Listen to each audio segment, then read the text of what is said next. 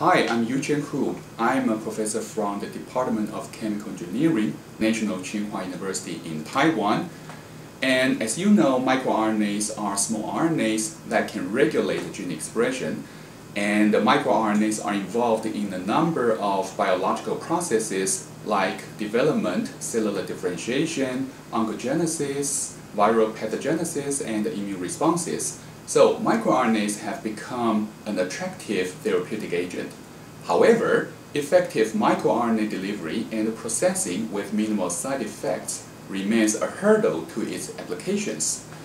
Although there are a number of gene delivery vectors available, such as plasmid, adenovirus, adeno-associated virus, lentivirus, and retroviruses, and so on, these vectors have their respective drawbacks.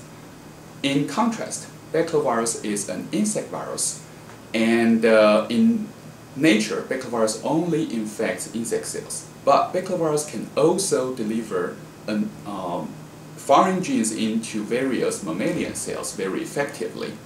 As opposed to other viral vectors, baculovirus has a number of distinct advantages. First, baculovirus does not cause apparent cytotoxicity in the mammalian cells, and the baculovirus does not replicate inside the mammalian cells, thus reducing the possible side effects.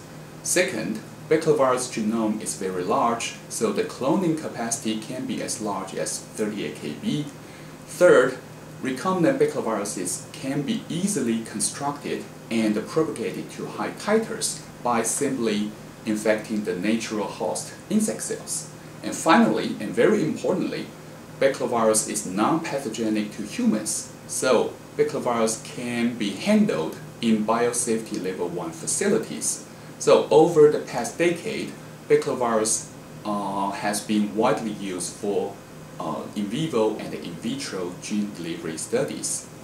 Given the potential of microRNA for gene regulation and the promise of baculovirus for gene delivery, in this study, we developed recombinant baculoviruses carrying artificial transgene-specific microRNA sequences within the microRNA 155 scaffold, uh, which after expression by the cytomegalovirus promoter could knock down the transgene expression in a sequence and dose-dependent manner. And also, by swapping the mature microRNA sequences, the baculovirus microRNA shuttle can repress the overexpression of endogenous TNF-alpha by the uh, arthritic synoviocytes without inducing apoptosis. To prolong the suppressive effects, we further developed a hybrid baculovirus that exploited the Sleeping Beauty transposon for gene integration and sustained microRNA expression. The hybrid baculovirus vector effectively repressed the transgene expression for a prolonged period of time, so baculovirus can be a novel vector for artificial microRNA delivery and sustained gene suppression. If you are interested in this study, please visit the Biotech and BioEng website for more details. Thank you.